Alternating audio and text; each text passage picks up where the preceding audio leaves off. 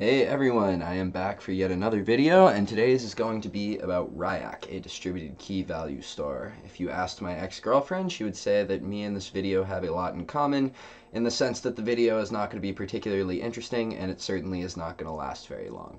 That being said, it's important that we cover Riak because it seems to have come up a decent amount in my personal studying as um, a data system that a decent amount of companies will use, and so as a result, I'm going to go over it pretty quickly. Alrighty, so Riak, what is it? Um, is yet another distributed database system that tries to achieve really high read and write throughput. It has a ton of similarities to Cassandra, which I've covered in the past, in terms of both the replication, the partitioning, the actual write engine, and I've covered those all previously, so if you haven't watched that video, I'd recommend just watching the Cassandra video, and then this video will make a lot more sense but it just mainly seems the most reasonable to discuss kind of the differences between Riak and Cassandra because that's what makes Riak a little bit useful. And uh, there are really only two main ones, so we'll go ahead and talk about those now.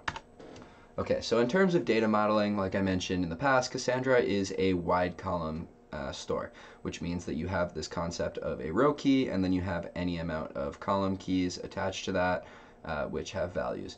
And um, you can also have this concept of clustering keys, which within a partition, and partitions are kind of delineated by that um, range of row key, uh, the clustering keys help determine the sort order. On the other hand, Riak is really just a key value store, which means that all you really have is key and some value where the value can basically be anything. That means it could be a blob, which is kind of like a file. It could be JSON. It could just be a string or a number or anything along those lines. So it means that in theory, you could probably store something a little bit more complex like you know a huge JSON document uh, with you know tons of lists in that, or, or, even nested things, or an image. But at the same time, um, it means that you're probably not really going to have great secondary index capabilities and querying based off things in the actual value itself. You can do this um, using something called a secondary index in Riak, but generally it seems not very efficient because every single um, key value pair will have to have this extra metadata now that enables you to search by the secondary index.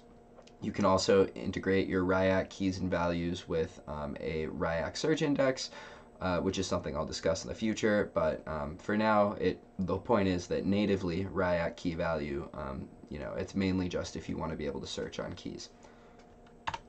Okay, uh, what about conflict resolution? Because this is the other kind of important area. So if you recall, uh, both Riak and Cassandra are using a Dynamo style um, implementation, which means that all writes are not going to one leader node, but rather they can pretty much go to any single node in the cluster that's going to be handling that partition, and that node can accept that write. So inevitably, what's going to happen is there will be race conditions and there will be write conflicts. Um, as for how Cassandra deals with this, they use last write wins. So basically, each write, once it reaches the server, is assigned a timestamp, and uh, the write ultimately with the higher timestamp is the one that's kept. There are two issues with this. The first is that timestamps are unreliable, so those servers might be out of sync, and so the wrong write may win. And then the second one is that what happens with the write that basically came in a millisecond before well, it's just lost. No one even hears of it. No one knows why it's lost. It's just gone. So how does Riak go and try and uh, fix this? Well, they use something called version vectors. Version vectors are a topic that I touched upon way back earlier on the channel um, in the multi-leader replication video. But the point is version vectors are just a good way of keeping track of kind of what a client uh, has known about was in the database whenever they made a write and by doing so, you can kind of keep track of the dependencies of a write and see if two writes for the same object were causally related, as in uh, one was done knowing about the other, or if they were concurrent, one was done without knowing about the other. And if they're concurrent, what you go ahead and do is actually store them as siblings. And once two writes are stored as siblings, it means that anyone reading from the database in the future will receive both of those siblings as a read and go ahead and try to merge them in the application code. So in our backend, for example, we would be writing extra code to handle the fact that there may be siblings on a read, and then we would merge those in one way or another as we see fit and put them back in the database. But what if, for example, uh, you don't actually want to deal with the merging and say you just want something that works pretty seamlessly, like a counter or uh, a set or a map? Well, fortunately, we talked about that in the last video, and that's called a CRDT, a conflict-free replicated data type which is just any sort of data structure that you can kind of have multiple sources of writes for, and eventually they will converge to the same state.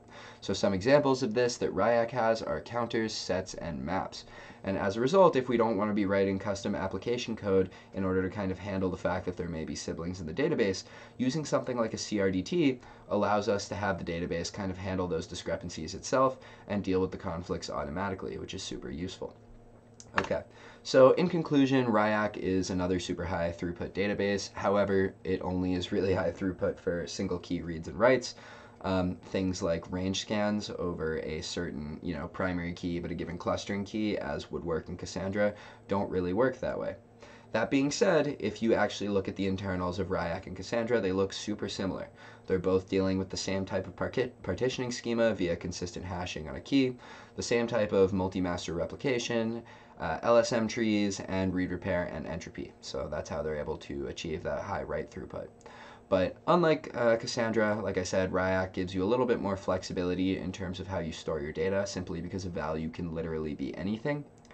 But it comes at the cost of the fact that since it's only a key value store, um, doing things like sorting within a partition are not very easy, and it requires you to either add extra metadata for a secondary index or in, uh, integrate some extra search index technology to work with your data.